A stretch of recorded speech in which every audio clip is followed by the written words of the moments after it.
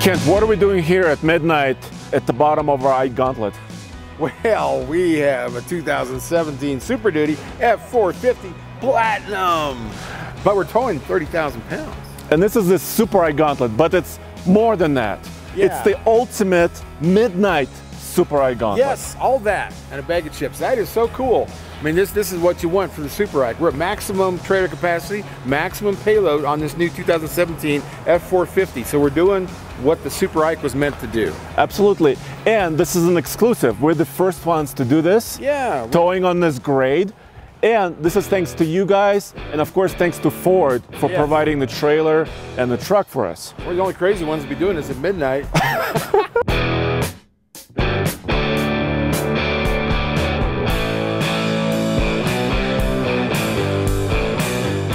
The Ike Gauntlet is an extreme towing test going up the steepest interstate in the country, up to 11,158 feet above sea level. It's an 8 mile stretch of highway at 7% grade. Now, the big news for 2017 is under the hood. This 6.7 liter Power Stroke turbo diesel V8 puts out 440 horsepower and a class leading 925 pound feet of torque.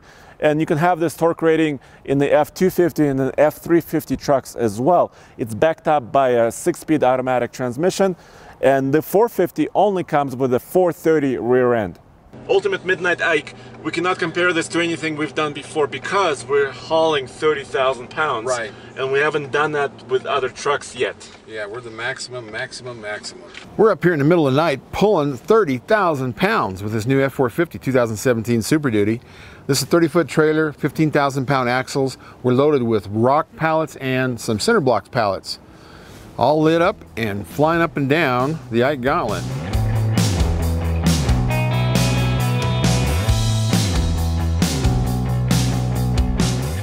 Shout out to Mike Levine and the Ford crew for bringing this to Colorado. We haven't had a, a Ford media launch in Colorado in a very long time. So this is this. awesome. You know, we're loaded basically to the max on this particular model because uh, this Platinum F450 um, is rated at the gooseneck towing of 30,100 pounds, Right? uh, 21,000 pounds on the hitch on the bumper pull, Uh-huh. and the payload rating, maximum payload rating for this particular configuration is 4,751 pounds. Yeah, so we're about maxed out, right? so we're maxed out on our payload considering our tongue weight and in us here. Oh. The, the actual trailer brake bar is coming on, right? That is awesome because this adaptive cruise control doesn't just control the truck, it controls the trailer, which is wonderful. So it brakes the trailer when it needs to and actually turns on the brake lights on the trailer. So this is just so awesome. I've been waiting for a system like this for a long time. Most of the time, adaptive cruise control is not allowed with the trailer. Now look at this. Um, it's locking on the trailer in front of me. oh, and it's slowing you me down, because there's a slower Yeah. vehicle ahead? And then, see, it's slowing me down again. So this is how it's supposed to work. Look at that. I haven't touched a single You brake. haven't helped it? Nope, I haven't helped this at all, and it slowed us down. We are going about 34 miles an hour. 34 according to the speedo. Right, and you know we've got the adaptive cruise control set at 50, so it's doing its job. Look at that. I'm not touching anything. I just steer this puppy.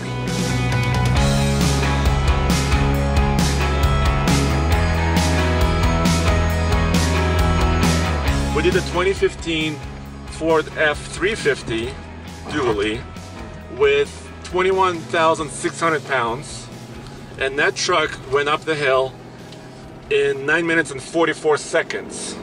Go! I just started the timer at the uh, lights on the merge And I hit on the merge uh, lane.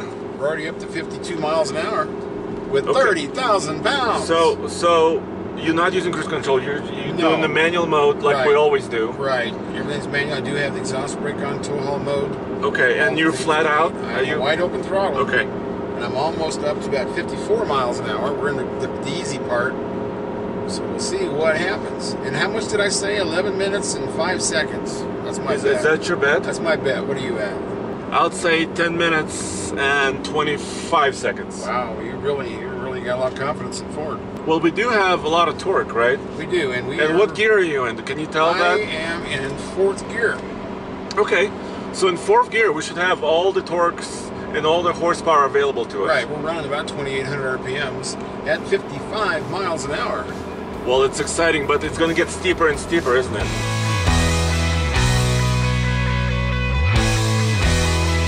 I interrupt this video for a word from our sponsor, TFL Now. That's right, did you know we have a brand new YouTube channel called TFL Now? And you can visit that by clicking above.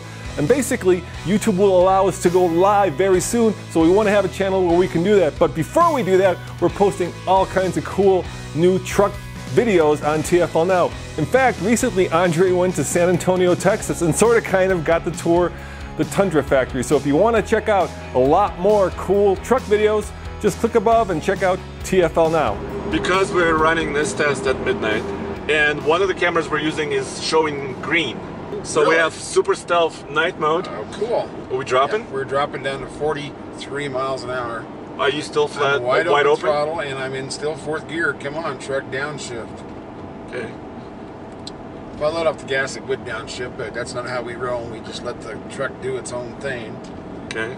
So we'll see how long it takes for it to downshift. Well, we have no traffic issues. I mean, there's a semi up ahead, but I mean, at this time of day, Is that the Or fan night. coming on? I know it's a turbo. I almost hear something. I think there's a cooling fan just turned kicked on.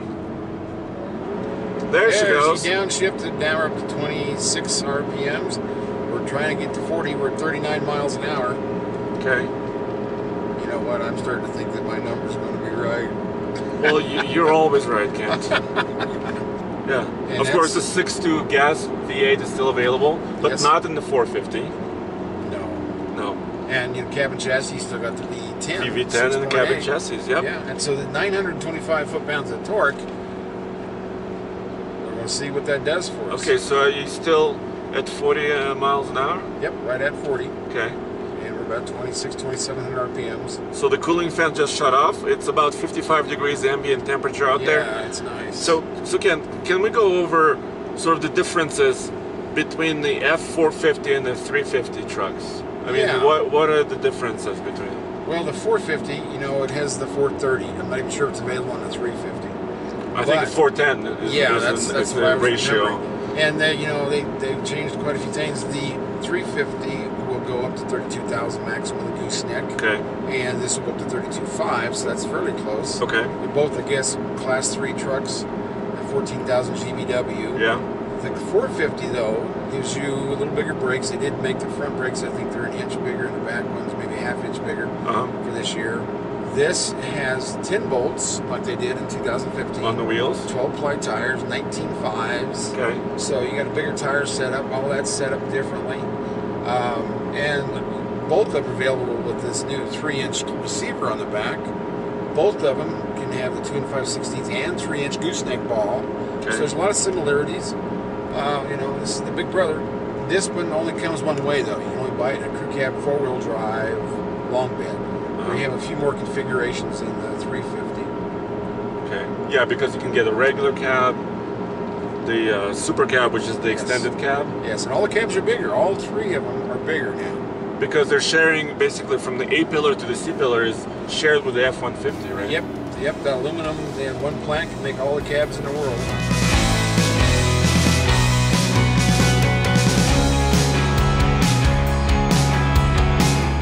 Know, this truck, you know, it's it's you got to drive these a lot of miles to really understand the ride differences. This finally first year has the hydraulic cab mount on the super cab and the crew cab, Mhm. which is new, which I like. Uh, I mean, there's, there's a lot of things they've done to improve the ride on it.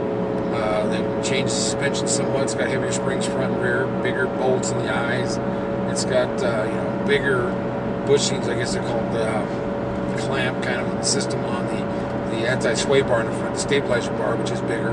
The steering has fairly good on center feel, right? Are you, would Yeah, you does. agree? It does. It's uh, you know some of these trucks are really light steering, some are really heavy steering. Ford used to be heavier, and then they changed it to where it was a lighter steering.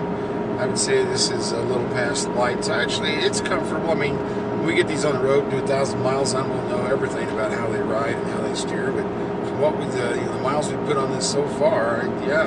I mean, I'm not using a whole lot of effort with that adaptive steering. why do we do the Super Ike and the Ike Gauntlet? I mean, we want to stress this this trucks out, right? Exactly. You want Find elevation out- and grade. All that, you know, you get to that high, you got less air, all the things you need a turbo for. Yeah. We want to stress the trucks out to make sure to see what they're made of. Right. and also to make sure that uh, you know you guys and everybody can safely tow.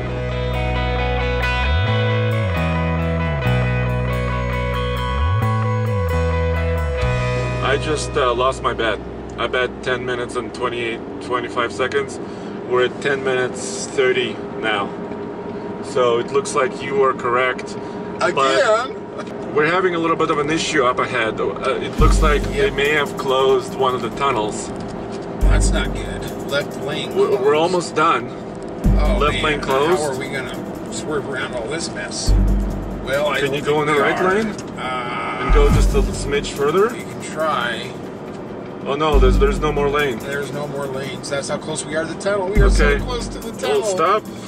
Oh. Let me let me let me stop the counter. 11 minutes 23. And So we'll we're say I won. you did win. and we're within what? What would you say? Oh.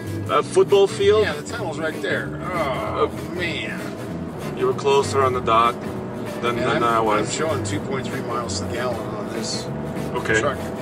Okay. The uh, when we did the 2015 F350, that reading was 2.7. Yeah, so that's But I mean, this is an extreme case, right? right. We're wide open throttle for basically nearly eight miles. Uh, we'll be doing a lot more 2017 Gold Hitch Award runs, Yes. and those will be direct head-to-head comparisons, uh, which with trucks in each category. You know, half tons, heavy duties, mid-size, uh, you name it. So that's all coming up over the next few months.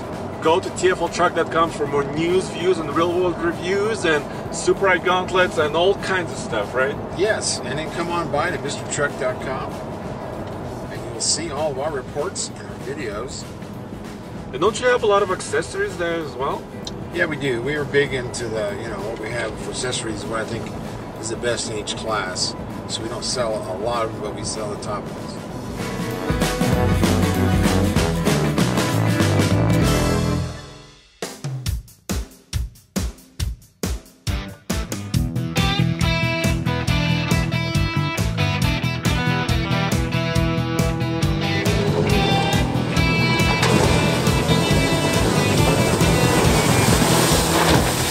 Ford invited me here to an off-road course they set up to show off the features of the brand new 2017 Ford Super Duty FX4 package.